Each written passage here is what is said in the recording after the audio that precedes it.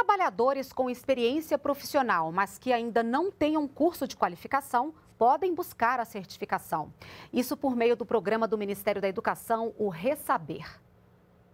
Edson trabalha no ramo de turismo em Santa Catarina desde 1982 e, aos 50 anos, recebeu o certificado de competência profissional, o que lhe abriu novos horizontes. Eu sabia na prática, na teoria, eu descobri outro mundo, descobri um novo horizonte. O Ressaber tornará o processo de certificação profissional comparado ao processo vigente bem mais simplificado, por diminuir a burocracia na execução por parte das instituições de ensino. Nessa primeira fase, os profissionais das instituições federais de ensino estão se preparando para emitir as certificações. Depois, o sistema será ampliado para as redes de ensino estaduais e municipais, inclusive na rede militar.